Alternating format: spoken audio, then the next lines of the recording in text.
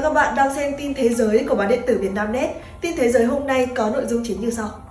Hãng Reuters và tờ The Guardian dẫn tin từ cơ quan khảo sát địa chất Mỹ cho biết, trận động đất xảy ra vào cuối giờ chiều qua, 21 tháng 11, có tâm chấn ở Sianju, thuộc tỉnh Tây Java, ở độ sâu 10 km. Khu vực này là nơi sinh sống của hơn 2,5 triệu người. Thống đốc Tây Java Ridwan Kamin cho biết 162 người đã thiệt mạng và 326 người bị thương, phần lớn nạn nhân là trẻ em, quan chức này cho biết. Tuy nhiên, cơ quan giảm nhẹ thiên tai BNPB của Indonesia vẫn giữ con số tử vong ở mức 62. Các nhân viên cứu hộ đang tìm kiếm 25 người được cho là bị vùi lấp trong đống đổ nát. Một phát ngôn viên của BNPB cho biết cuộc tìm kiếm diễn ra xuyên đêm. Theo ông Ridwan, do có nhiều tòa nhà bị sập nên con số tử vong vẫn tiếp tục tăng.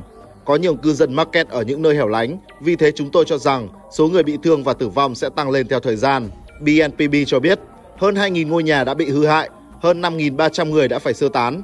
Trong khi đó, ông Ridwan đưa ra con số là 13.000 người và cho biết người dân được phân bổ tại các trung tâm sơ tán khác nhau trên khắp Sianju. Đêm qua, xe cứu thương vẫn tiếp tục đưa thêm nhiều người tới bệnh viện. Giới chức Indonesia vẫn đang làm việc để xác định toàn bộ thiệt hại do động đất gây ra. Vani, một người đang được điều trị tại bệnh viện chính của Sianju, nói với Metro TV rằng các bức tường trong nhà cô đã sập sau một cơn dư chấn. Tường và tủ quần áo đổ sập, mọi thứ bị sàn phẳng. Tôi thậm chí còn không biết cha mẹ mình đang ở đâu, cô nói. Ông Ridwan cho biết 88 đợt dư chấn đã xảy ra, trong khi cơ quan thời tiết và địa vật lý Indonesia cảnh báo sẽ có thêm nhiều vụ lở đất trong trường hợp mưa lớn.